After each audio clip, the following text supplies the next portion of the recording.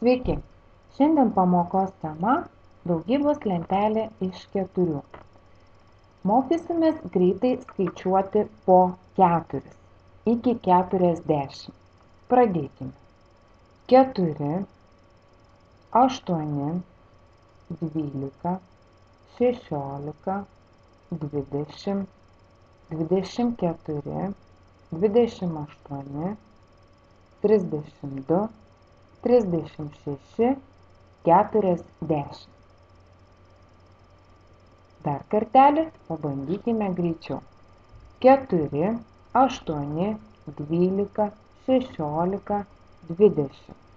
Dvidešimt keturi, dvidešimt aštuoni, trisdešimt du, trisdešimt šeši, keturiasdešimt. Jeigu mums reikia labai greitai apskaičiuoti šias sandaugas, mums reikia žinoti keturių daugybos lentelę. Tada mes tikrai mokėsime labai greitai apskaičiuoti ir pasakyti. 4 plus 4 yra 8. Tas pats 4 kart 2. 4 plus 4 plus 4 yra 4 kart 3 12. Jeigu tu, žiūrėdami paskutinį eilutę, kiek daug kartų turėtumėme išvardinti, kiek prie keturių reikia dar pridėti po keturis. Bet galime labai trumpai pasakyti, kad 4 kart 5 yra 20. Taigi, šiandien atlikime trečią užduotį, paskaičiuokime sandaugas ir stenkimės įsiminti kuo greičiau keturių daugybos lentelės atsakymus.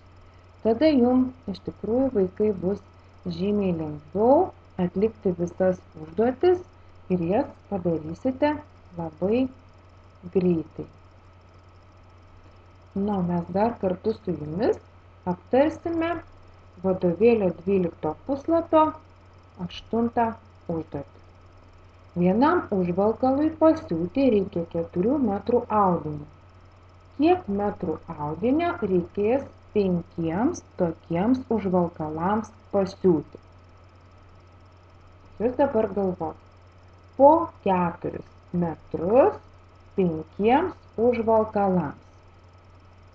Tai, ką mes šiandien jau kalbėjom, mokomės, užrašykime 4 kart 5 yra 20. Devintoji užduotis. Lina nusipirko 3 metrus drobelės po 7 litrus už metrą. Kiek kainavo pirkinys?